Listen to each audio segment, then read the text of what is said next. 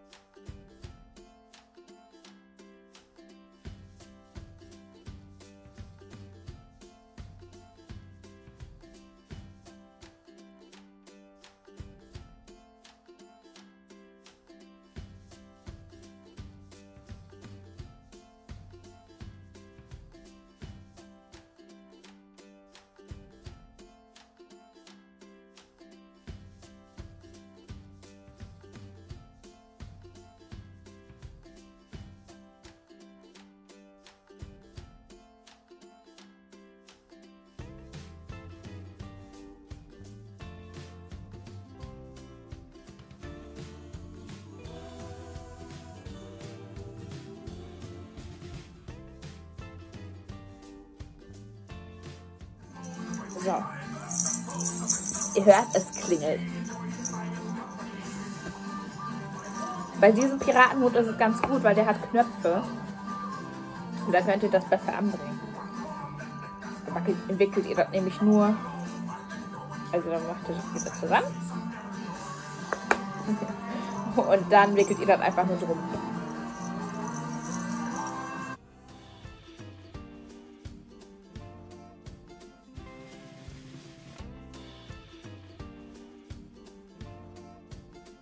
Seht ihr, also ich habe jetzt schon drei Piratenhüte gemacht. Den von meiner besten Freundin, den von einer guten Freundin und meinen eigenen.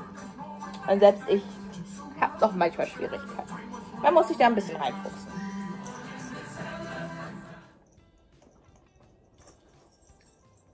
Seht ihr? Das wackelt hin und her. Aber ist trotzdem fest.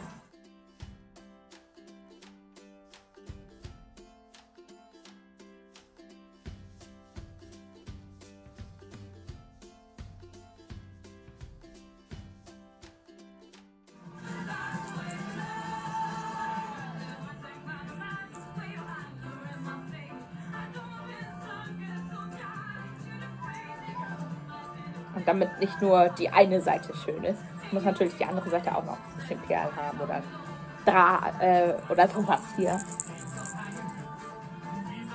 Was bei dem Draht ganz gut ist, manchmal hat das, hat, ähm, also viele Piratenhüte haben halt so eine Worte quasi.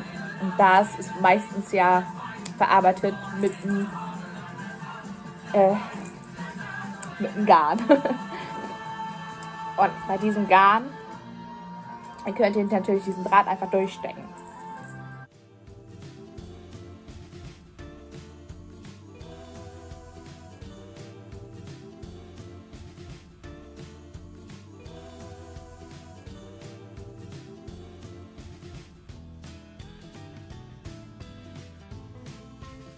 So seht ihr, dann haben wir das auch schon.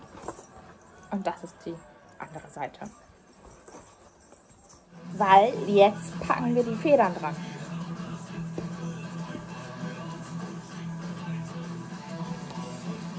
Da habe ich an blau-schwarz-rot gedacht.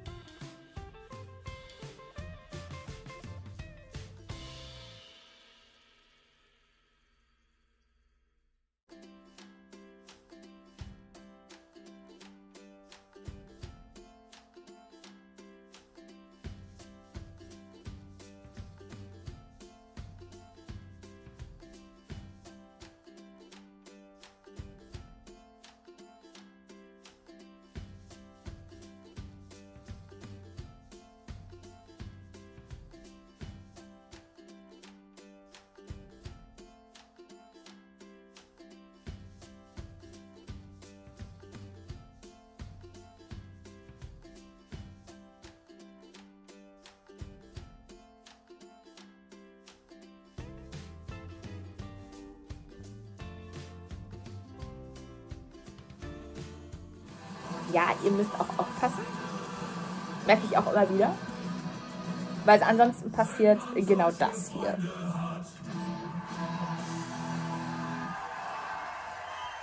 Wie gesagt, auch ich bin kein Profi. So, Federn sind auch dran. Piratenhütte übrigens ohne Federn. Ist ein bisschen komisch. also finde ich, es gibt natürlich einige, die das mögen, aber für mich muss ein Piratenhut definitiv Federn haben.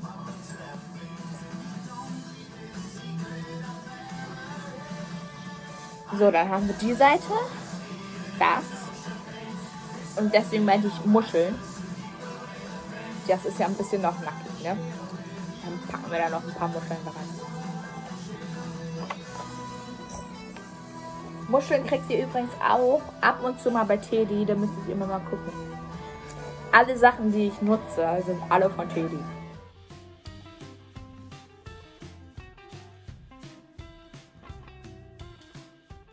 Was nur ganz, ganz wichtig ist, das hier, das, das darf nicht dran sein. Das müsstet ihr dann mit der Schere oder mit irgendwas abknipsen.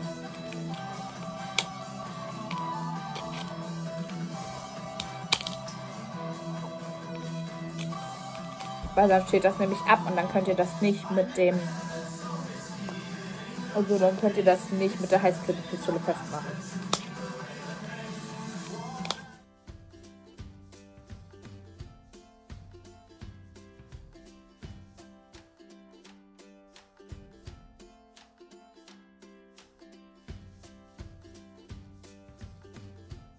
Die zweite Muschel.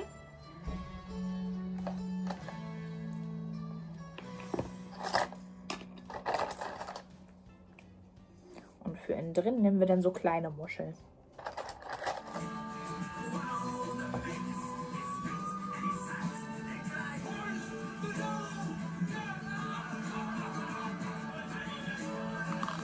Einmal drumrum machen, also ab hier genau in der Muschel am Rand einmal komplett ran.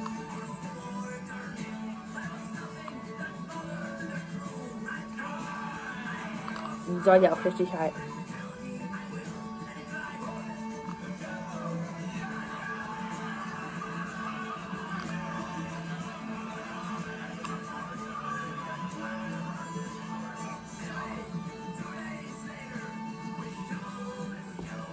Achtung, die Muschel wird extrem warm.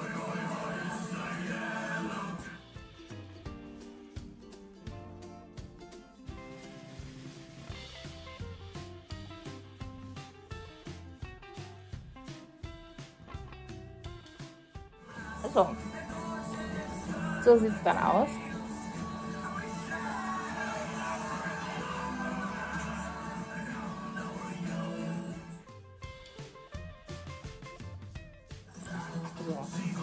Haben wir das. So. Das. Und dann kommt hier noch ein paar Muscheln hin.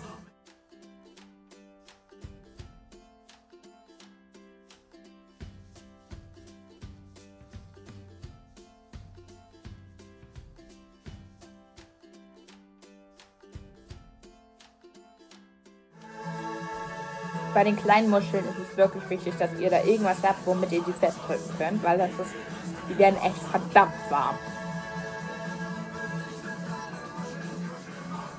Und Muscheln bitte nur die nehmen, die auch am Strand schon rumliegen und nicht zu sind. Also das heißt, die schon tot sind. So, dann haben wir das. Weil mir diesen Seite noch ein bisschen zu kahl ist, packe ich die kleinen Muscheln, die hier noch an die Seite.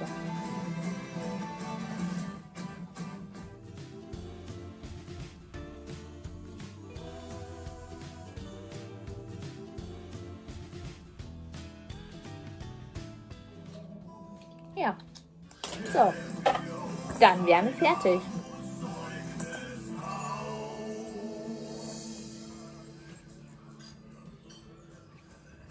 auch auf so Werbegeschenke kann man tatsächlich sich einen eigenen Piratenhut machen.